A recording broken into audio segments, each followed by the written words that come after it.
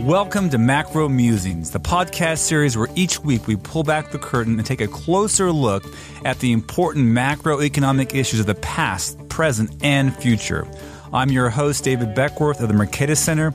We are glad you've decided to join us. Our guest today is Stan Veuger. Stan is a resident scholar at the American Enterprise Institute, where he specializes in political economy and public finance.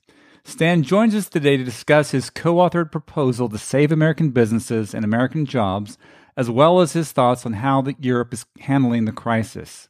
Stan, welcome to the show. Thank you for having me on. I'm very excited. I'm a fan of your work. Oh, well, thank you. Well, thanks for coming on the show because you've written a really fascinating piece with Steven Hamilton of George Washington University, a very practical, rubber meets the road approach to saving businesses and jobs as we work our way through this crisis. And I want to learn a little, bit more about you for our listeners. Tell us what you do and what your job is like and, and how it's prepared you for this moment. For sure. So I am uh, I'm an economist at a think tank. The think tank is the American Enterprise Institute. So what I do is a mix of academic work and then you know your more typical uh, think tank activities. So that includes some blogging, radio and TV interviews, briefing policymakers. You know that the, basically the whole spectrum of, of, of, activities that you associate with with with people at, at think tanks based in DC. So you know, pretty uh, close to a lot of federal policymaking.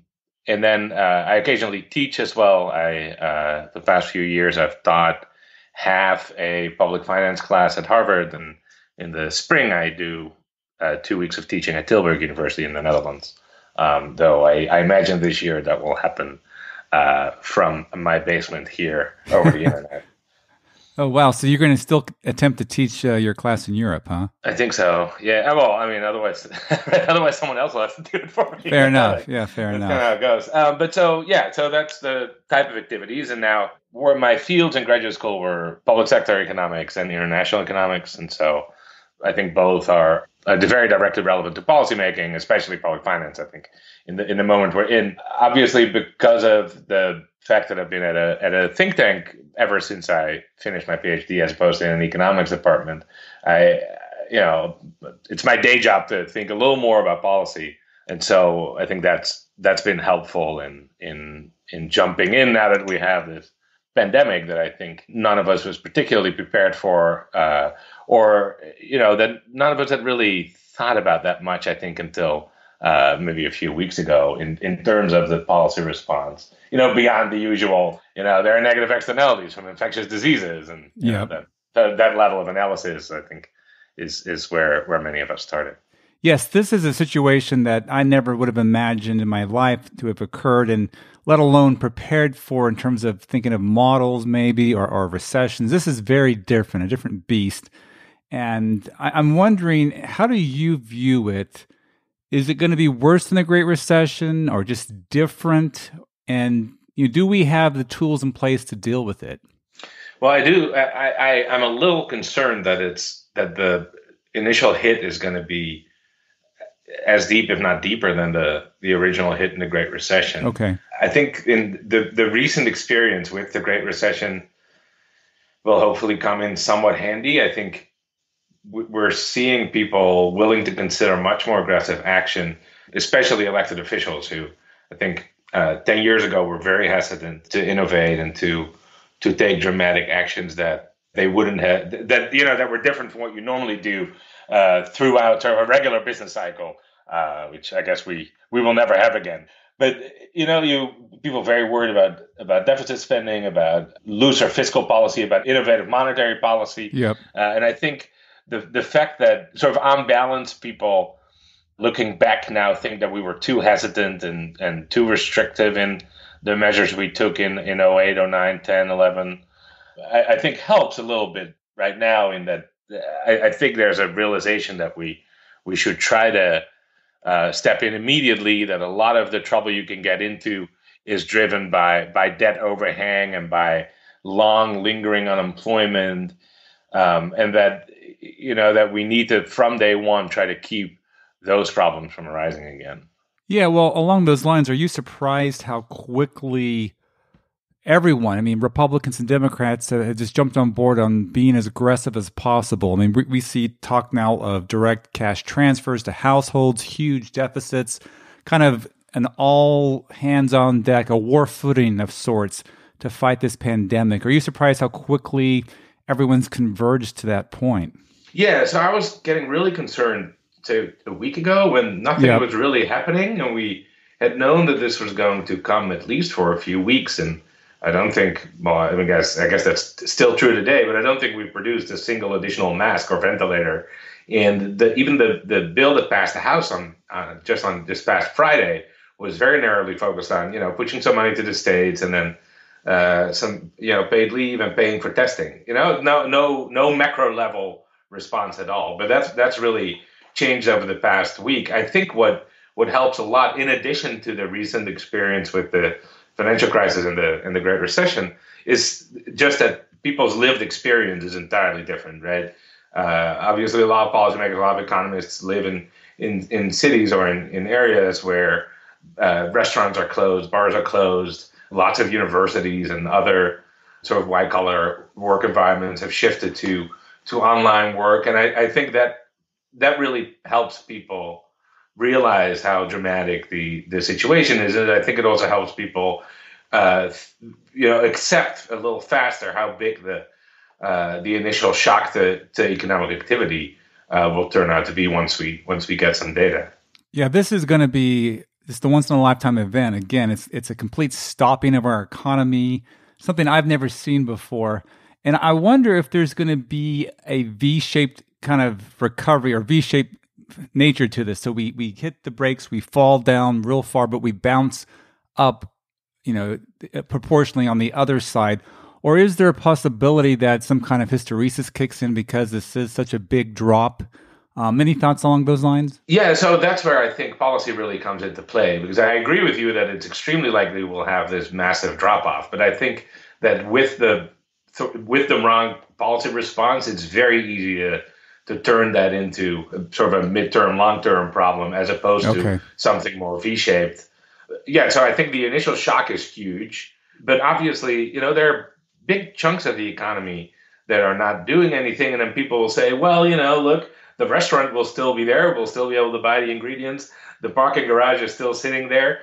That's obviously not how the individual entrepreneur and the individual worker uh, will operate. Right? People have right. bills to pay, and people have savings that will be that they will have to draw down uh, pretty rapidly if if if entire industries close down for you know even two months, which I think at this point is is a you know kind of a good case scenario.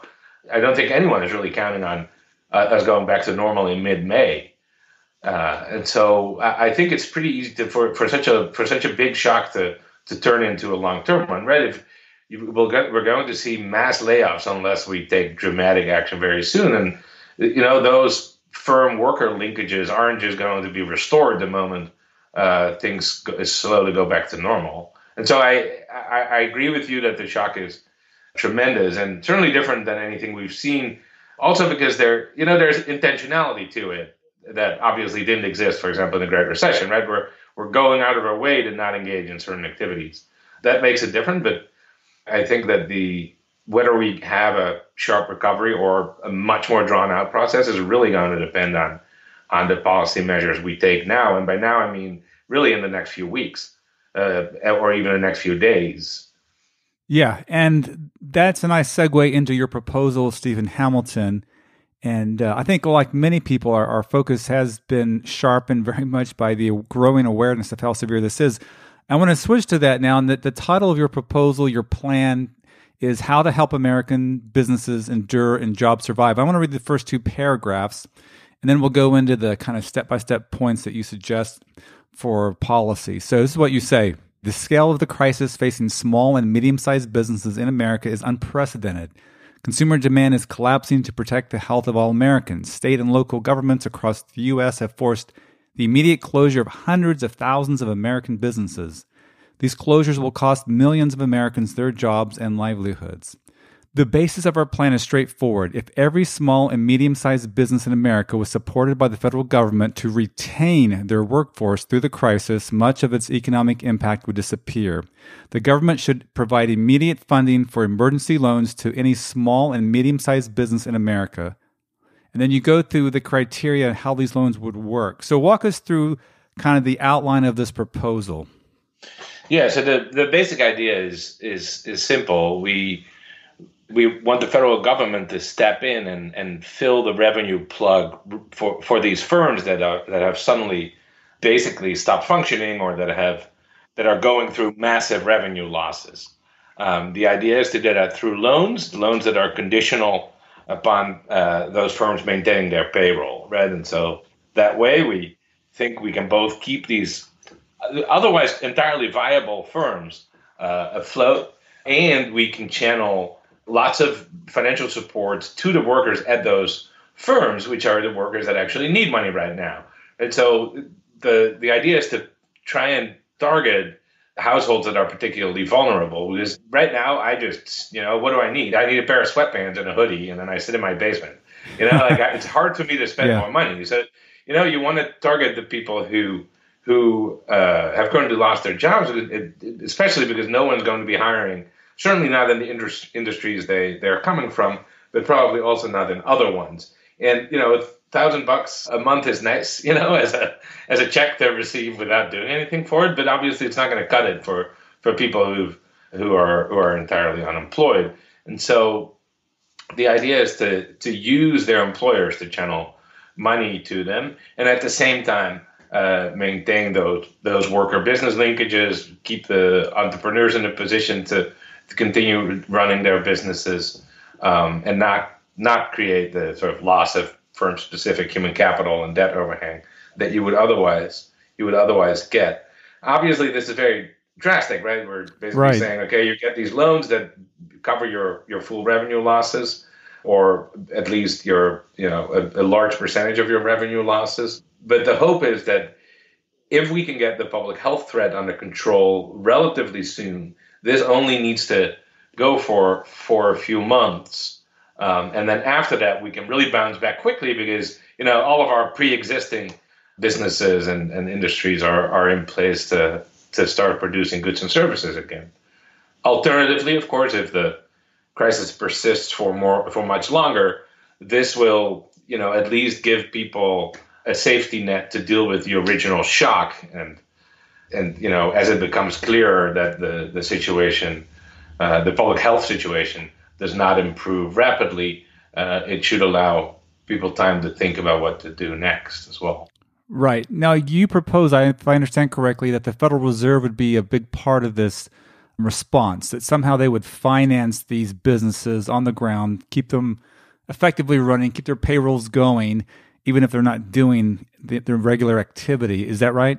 Yeah. So the idea is to have the, the to use the regular financial industry, right? Just use people's regular lenders to provide these loans, but have some sort of uh, federal government backing. And so one way to okay. do it is you could have the Federal Reserve uh, buy up the loans, right? Once they've been originated.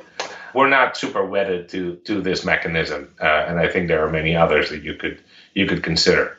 So this would be loans going to small and medium-sized businesses and your local bank, maybe your local credit union, your local financial intermediary, whatever it is, gets backstopped by the Federal Reserve, correct? Yeah, that's right. Okay. Now, could you make loans also available to just households if they needed it? You could do that. I think businesses have more frequently have so pre-existing lines of credit that they okay uh, used to tapping. Uh, I also think that this this is a little more targeted than than if we were to provide these loans to, to households okay. because it, it it'll only be attractive to firms that lose revenue because the backstop that we have on the firm side is that if you participate in this program, your 2020 net income is not to not allowed to exceed a certain percentage that we're you know not specific about of your net income last year or in previous years. Right. Okay. So if you can operate as usual, it's not attractive to enroll in the program because you you're capped in your in your net income. Uh, whereas if you enroll in the program, you know you you obviously have the benefit of the of the potentially forgivable loans, but your net income is kept. For households, I I don't I don't really know how we would would go about it. I mean, obviously you can lend money to people, but the lending part is not the in, in a sense not the helpful part because that way you right. just create debt overhang. Right. Whereas here in this program, so if you maintain your full payroll, ultimately the the loans will be forgiven. Yeah, maybe the direct cash transfers that the president's talking about is a better way to deal with the household, but with the businesses, that's, right. that's exactly you do this type of lending. But I like your idea because it uses the existing infrastructure on the ground already. So one of the challenges of doing, you know, funding to small, medium-sized businesses, well, how do you get it to them? And it'd be almost impossible for the federal government, even for the Federal Reserve itself, to get enough people, buildings, you know, infrastructure in place to do that. So just use the existing banks and financial firms we have out there because they're already on the front lines, they're already engaged, and just use them. So I, I think in any of these responses we think through, lots of great ideas, but we've got to think through infrastructure constraints. So even like the helicopter money or the direct cash transfer the president is talking about, I just read an article today that there's a there's a trade-off between getting everyone the money accurately and getting it timely. So you want to get the money as soon as you can to the households so that people who are beginning to lose their jobs can still pay bills and feed themselves. But if you rush the money out too quickly because the IRS simply can't handle this this new heavy load, there might be a lot of errors. Someone might not get a check, or maybe someone gets two checks. And so you, you've got to deal with infrastructure constraints, and I think you guys wrestle with that in your plan. That's right. And so there are there's there's a few somewhat comparable plans out there. One of them is by Saez and Piketty. Uh, I, I don't think that they have an implementation program as such. Uh, Senator Collins from Maine has a has a plan as well, and so she does not go through the uh, the the Federal Reserve route as such, but she also relies on the existing financial industry uh, infrastructure that we have. And so I, I, do think that you you need to do that. It's hard to think how else you would uh, you would get money uh, to them. So in her case, the loans would be forgiven uh, after a certain period of time. Uh, they would follow the model of, of sort of normal small business administration loans. Um, in our proposal, we talk about tax credits, right? So that would give uh, the IRS, I guess, oversight authority and make sure that conditionality is met, and it would also give people a little more time to to to get their house in order. Um, but uh, you know, so you have different ways to implement this. But I do think what you're saying is correct that you can't just try to mount up a whole new administrative agency right. uh, to do this, and it's hard, I think, for the for the Federal Reserve banks or for Treasury to to. I mean, I, it's hard to even picture how they would do it. Like, would would businesses start sending them applications and right now they, they would you know like how many people would have to you know this, this it's a herculean task yeah, right exactly.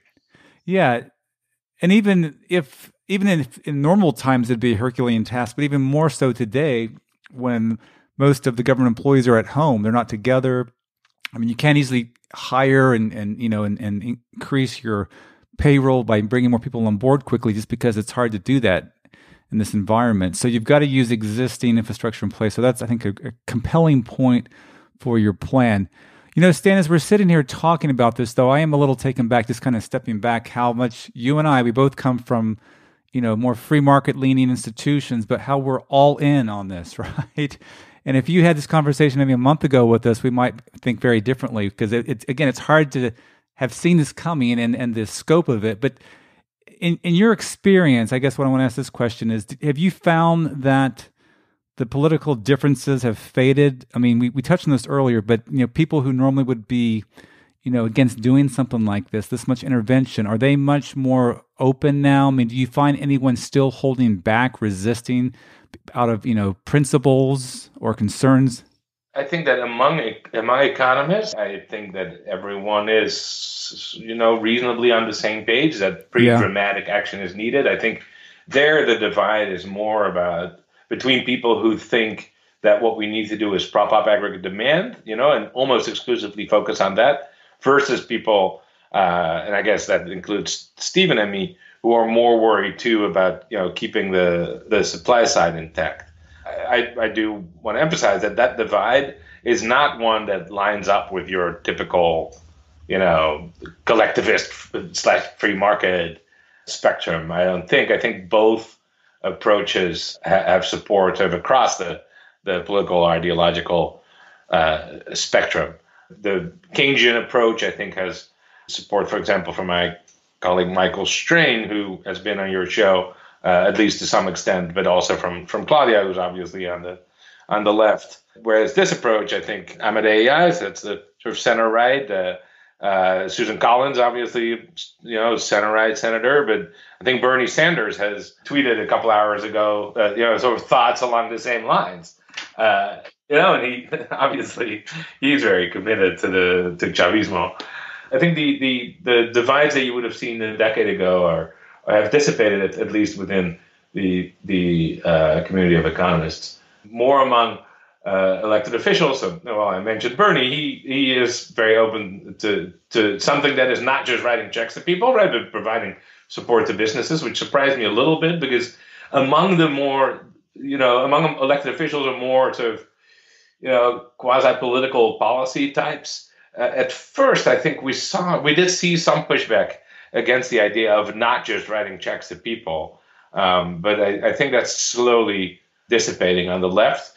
On the right, we have, I think, seen a willingness to to spend a ton of money uh, in ways that were inconceivable ten years ago. Now, I some of that obviously is that Republicans are have control of the White House, and I think that usually makes it more attractive to people to spend money. But but it's still pretty stunning, like the things you've right. seen from from someone like Mitt Romney, who uh, you know who ran for president on his uh, makers and takers divide. Right. Uh, is is uh, that feels like it's hundreds of years ago, but years ago. But so he's been very open to this. So has Senator Cotton. So the White House itself, of course, uh, has has talked about a, a trillion dollar package.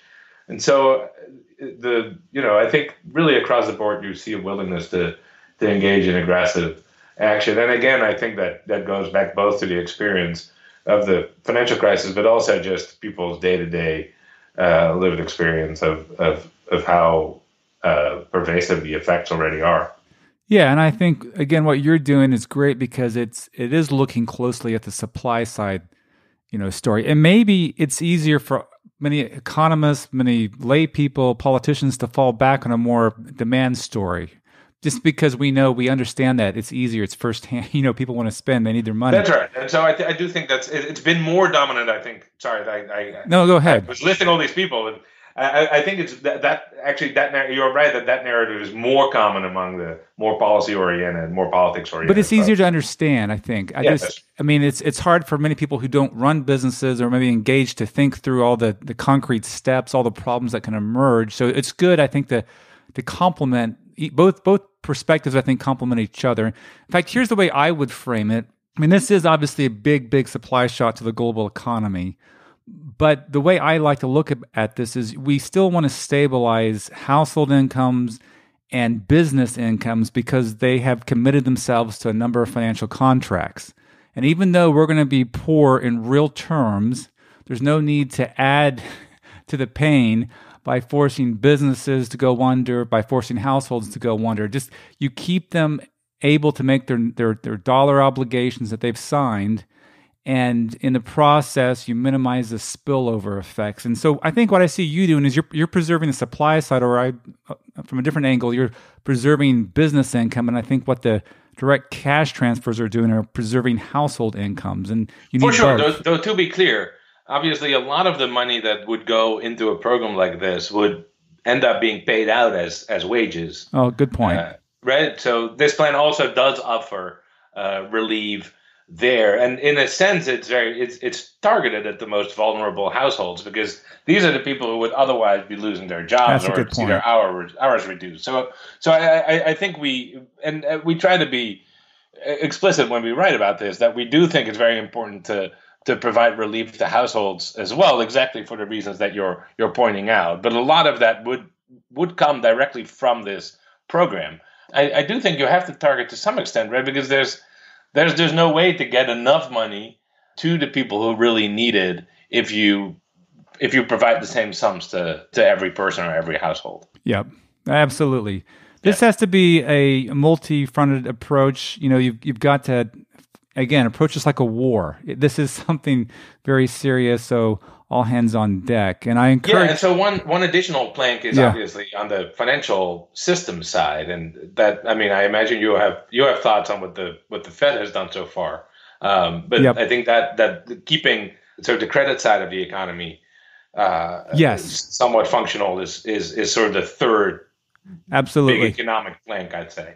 Yeah, no. So your your your proposal is looking narrowly, or I say narrowly, it's focused in on the supply side in terms of businesses, non-financial firm businesses, the uh, direct cash transfers, the household. But yeah, you still got to also maintain that financial sector, and and the Fed is doing that. Although I have some suggestions for them, I'll, I'll throw them out here since since you bring it up. Um, the Fed is beginning to open up its alphabet soup of liquidity facilities again, as you know, commercial paper facility, primary dealer facility and before we know it, money market facility might be a big in because the president had mentioned that. And these all, you know, in the fog of war might be what is needed. But it would be nice if there was a kind of a one-stop shopping facility and and the standing repo facility, which has been talked about coming into this, it could have been up and running. It, it could have been designed to uh, take a lot of collateral, a lot of counterparties. George Selgin at the Cato Institute is a great proposal to make it kind of like a one one unit, one one facility that could have provided all the liquidity needs of many different firms and using many different assets. But that's you know neither here nor there. We're in the fog of war right now, and so the Fed's doing what's appropriate given what it can do. But that you're right. This is a multi-front approach or multi-front war. We need to be aggressive on all fronts. Now, I encourage our listeners to to check out uh, Stan and Steven's proposal. We'll provide a link to it. Any other uh, closing thoughts on this before we switch over to Europe? Um, well, I, I do think it's important that you know obviously it, the we can't expect every everything to, to work perfectly, but I do really think it's important that the federal government uh, starts taking some action because we we really haven't seen much yet. So on the on the economic front, obviously the Federal Reserve has done things, but Congress so far has really not passed anything. A couple of weeks ago, they I think they appropriated eight billion dollars for some emergency healthcare spending, but that's really the, the very lowest hanging fruit.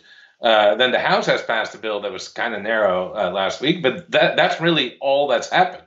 So the economic policy response so far has just been all super talk. limited. And yeah, and look, but we're going to have such massive job losses so quickly, and we're we're not prepared for that at all. You know.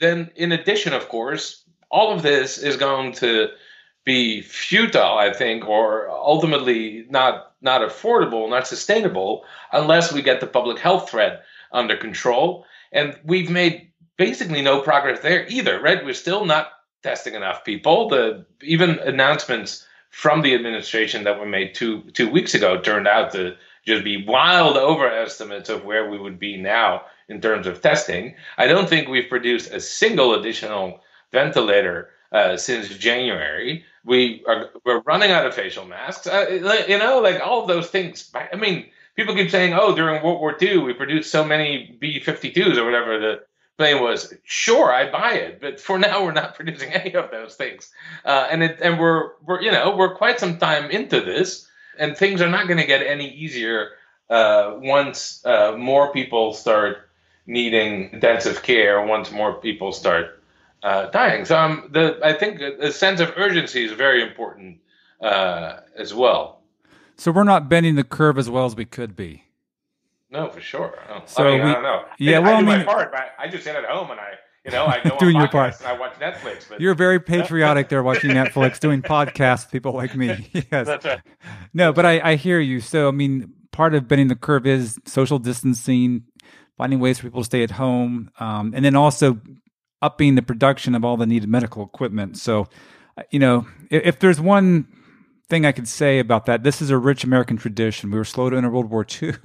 we're slow to do a lot of things in a timely fashion, and maybe it's just the nature of who we are, our our government system. I don't know, but hopefully, again, this urgency is becoming more and more apparent each day. The people's focus has been sharpened and, and laser like on the fact that big aggressive actions are needed. Okay, so that's the US front, and it's a very busy one, and we'll come back to this, I'm sure, in future shows. But let's switch our focus over to Europe. I know we have a bunch of listeners over there as well. And if anything, I think they are far worse off than we are. They definitely are the center of the pandemic right now, as the WHO has told us. So maybe give us an overview. What what's over there? I mean, you're from the Netherlands, so you probably have really vested interest in following what's going on over there. But kind of paint a big picture for us. What's what's happening over there, and and how are the governments over there handling this crisis? Well, I would say, roughly speak, and a good part of continental Europe is in, in almost complete lockdown by now. So that's true for Italy, it's true for Spain, it's true for France, it's true for Belgium, it's it's becoming truer for the Netherlands. There are border controls now, even within the Schengen area, which is the sort of free, free you know, no passport, no border checks uh, part of the European Union. In some parts of Italy, we've seen very dramatic scenes in in hospitals, caseloads just going way beyond capacity. Um, I'm I'm a little worried that Spain is next on that front. In my hometown in the Netherlands, about a third of intensive care patients now are coronavirus patients, and that's really just you know the, that's that those numbers are, are escalating day over day, and so the situation is pretty pretty dramatic. Governments are have stepped in a little more proactively uh, in the last few days than uh, in, in, in, previous days, including on the economic policy side. And so we've seen very dramatic packages in the Netherlands and in Denmark as well, where the government is effectively paying for the wages of employees at, at the most targeted firms. A uh, slightly different model from what we have proposed, but you know, similar vein. Uh, in Spain and in France, you have a lot of emergency uh, support for households and firms and, and dramatic expansions of basically state-backed loans. Um, and so, you know, the the situation is not is not great, but the the response is pretty dramatic at this point. The of course the situation is in is in intense flux, and there are things happening right. constantly. Germany closed its uh, closed its borders uh, to all countries a couple of hours ago. They they had closed most of their borders in previous days. I think one big push that the Commission, but also Angela Merkel is making, is to keep trade flows going. Okay. Um, I think they came under pressure briefly uh, a few days ago because obviously companies are not wild about sharing medical equipment, but in uh, in other industries, it's holding it's holding up okay. Uh, but yeah, there's obviously you know it, the way I think about it is that the the outbreak is just maybe a, a couple of weeks ahead of us, and so you I think you see what's going to happen inevitably in at least in parts of the U.S., which is that all bars and restaurants and uh, stores that are you know deemed non-essential are shut down. No people on the streets. You know, no flights, very limited travel. Uber shuts down. You know, all those all those things, and then very aggressive economic policy response packages that would be, you know, would have been hard to imagine even two weeks ago. Well, Stan, that's a great overview of what's going on there. Maybe I shouldn't say it's great, but it's it's a fascinating overview of what's going on there. I have a, several follow up questions, um, and I'll start with maybe the least important ones and work up to more serious ones. But I've wondered since Europeans tend to live in higher density areas than most Americans, if that plays into the fact that Europe is the center of the pandemic now, and maybe that has implications for us. Any thoughts? Well, I think that, so. I mean, obviously, China has enormous mega cities that are extremely dense, and, and, and it seems like many of them have been have been spared. So I, I really don't think that density okay. is the issue here.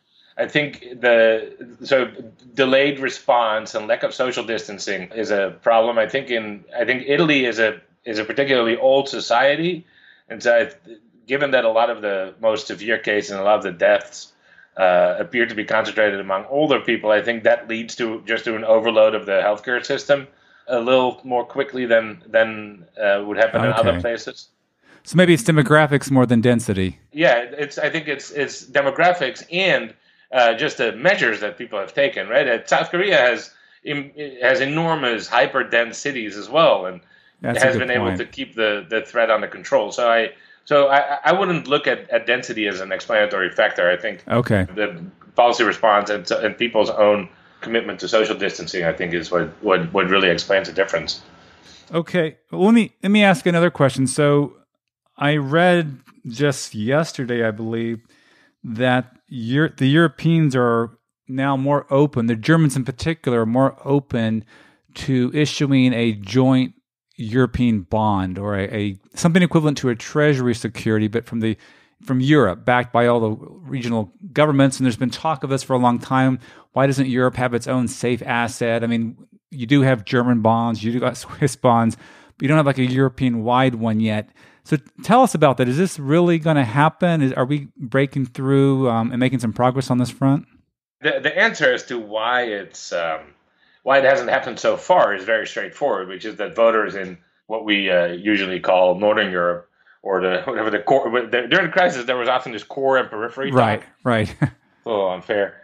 Uh, maybe, but it's just that voters there are worried about redistribution within the within the union, and they think, look, we can have these shared fiscal responsibilities, but ultimately uh, it's going to drive up interest payments relative to what we pay now, and we're going to end up paying for spending in in in Southern Europe indirectly. Right? That's I think that's the I think the explanation is super straightforward. That's yep. It's mostly that uh, that political uh, pressure. That's of course separate from whether uh, it would be a good idea on you know your typical you know welfare function maximization basis. And there, I think the question is different. We, we've of course seen that the and, and there the question is different in particular because uh, for, for the countries that are within the eurozone, right? The countries that cannot set their own monetary policy, uh, which which includes a really big chunk of the European Union at this point, especially now that the United Kingdom has has left. I think there there's certainly something to be said for a more shared approach. Uh, again, it's politically difficult, I, but I think that the current crisis actually offers a nice opportunity to experiment with it. Uh, you know, that's a very optimistic approach, I think, to the crisis. But obviously, every European Union member state is going to have to engage in dramatic fiscal expansion and new spending. And you know, for some countries that'll be fine, and you know, markets will will will accept that this is a temporary thing. But I think there's concern that uh, interest rates on, on Italian and, and Spanish debt will spike in a way that's extremely unhelpful because it'll, you know, under current rules, it'll probably force them into some sort of austerity program.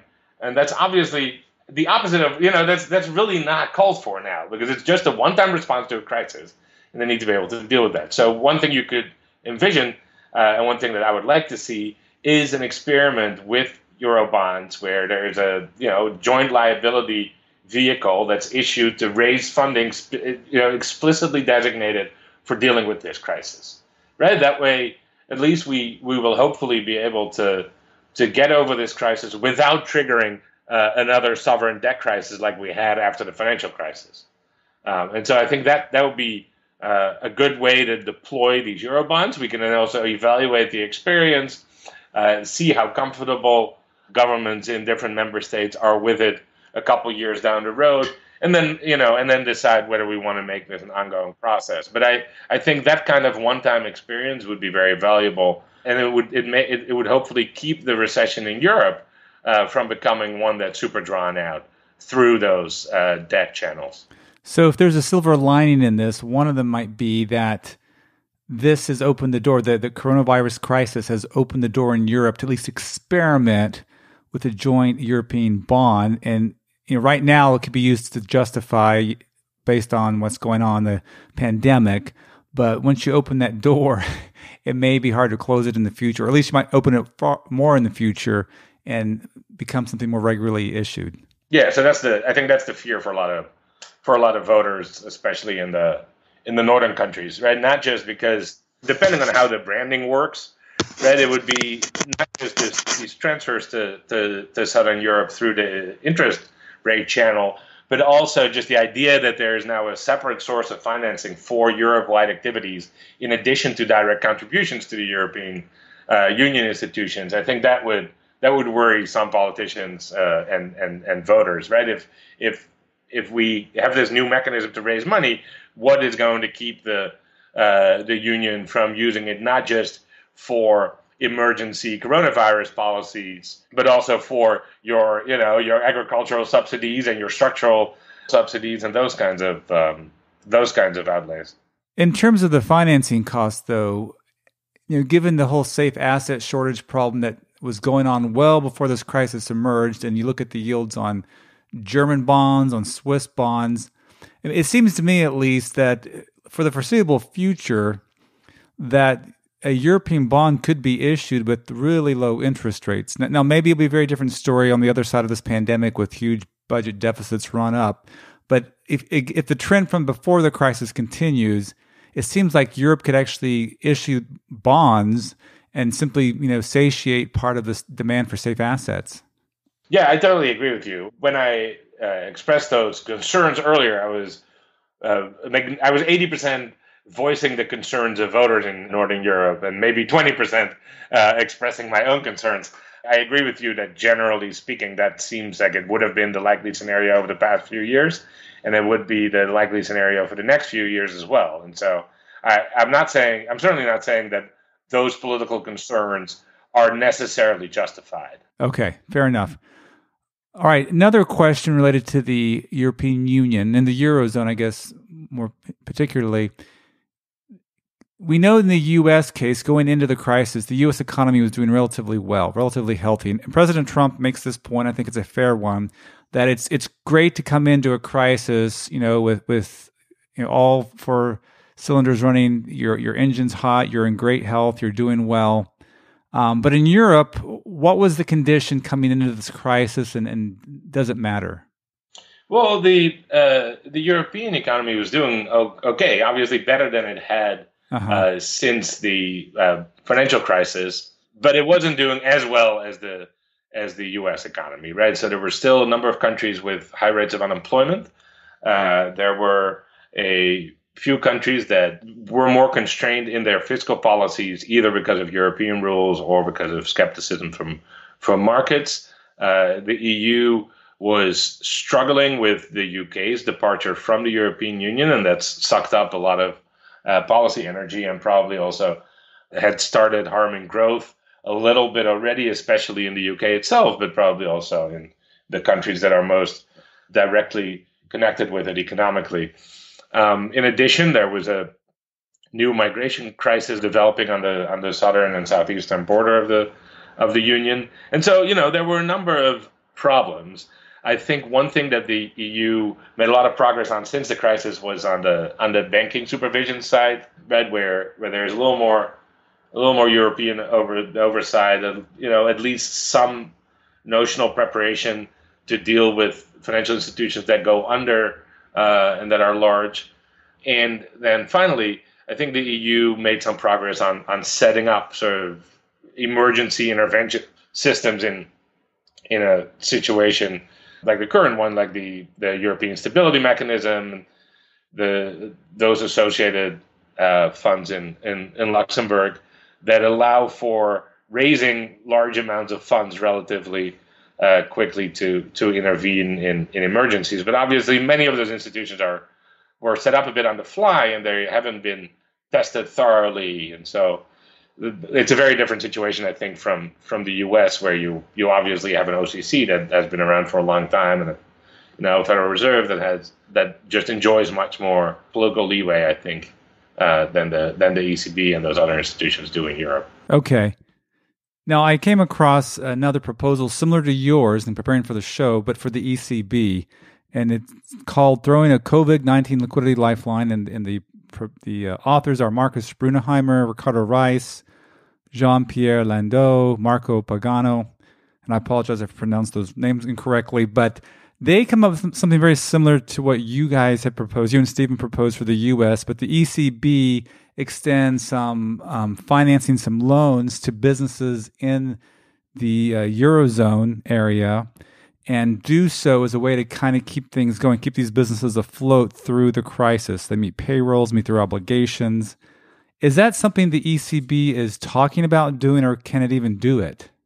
I mean, I don't really see how the. I mean, I, as you know, that first of all, their mandate is less uh, broad than that of the Federal Reserve. Yeah. And it's also, uh, you know, it's a little farther removed from from the day to day banking system in the individual member states. Okay. For for non sort of Europe wide banks, all the supervision is in, in, principle done by the member states' of central banks uh, and and other institutions.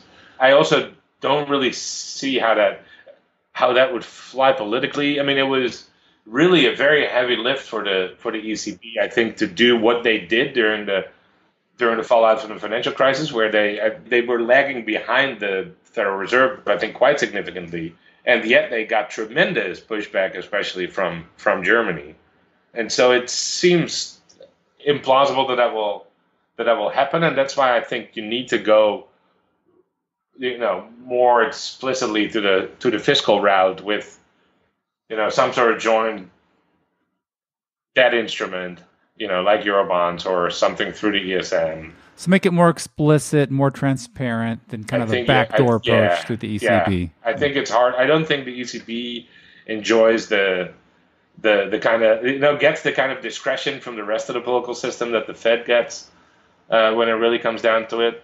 I think that's that that would make it more complicated. No, I've heard it said the ECB is a more independent central bank than the Fed. Is that fair? I think it's more independent in the sense that it's that it's harder for politicians to tell it how to set interest rates. You know? Okay. Um, but I, I, I don't think it has the same political credibility that the Fed has. If you okay.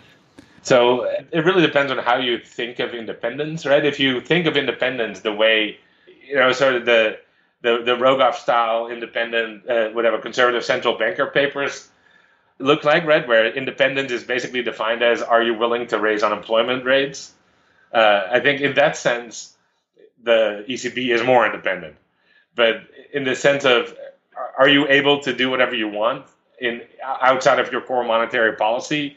responsibilities, I think the Federal Reserve is more independent.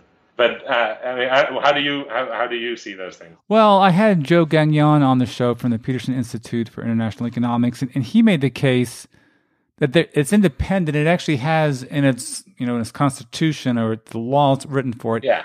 um, the ability to do things that the Fed can't do. So it can do. He alleges it can do helicopter drops, which is really a backdoor way of doing fiscal policy and it'd probably be the sum of all fears for Germans. Like, ah, oh, we knew it. We knew they were going to do this. you know, they're going to reallocate resources via you know different inflation rates, maybe in different countries, um, and different real exchange rates as a consequence. Um, so on one hand, you, know, you make you can make the case that he does at least legally they can do more things. But I, I do think I agree with your point. It's still a very political organization. Um, you still have representatives from all these different countries who are set on the board, the executive committee and it's it's not like they're on an island somewhere making these decisions as academics. It definitely operates in a political environment. It's just that it's, it's more independent in terms of it doesn't report to Congress directly and, and on, on that dimension. Um, but you think it would be a hard sell politically for the ECB to do anything really drastic like extend loans to businesses or do helicopter drops? Yes, for sure. I, I mean, I, I mean, I, who knows how bad the situation will get? Right, right. We'll in a couple of weeks, you know. We'll but, get back together in a month and see right, how things right have changed. Because right a month ago, we wouldn't be having the conversation we're having now. Yeah, so. but and especially relative to the Federal Reserve, I think that. Yeah, yeah.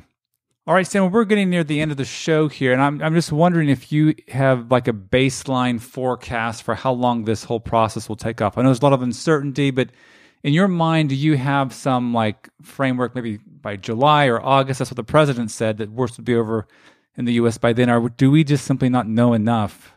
I don't think we know enough. I don't think we know enough about the mortality of the virus. I don't think we know enough about the morbidity. I don't think we know enough about how it responds to warmer temperatures. Uh, and so I think it's very difficult to, to forecast.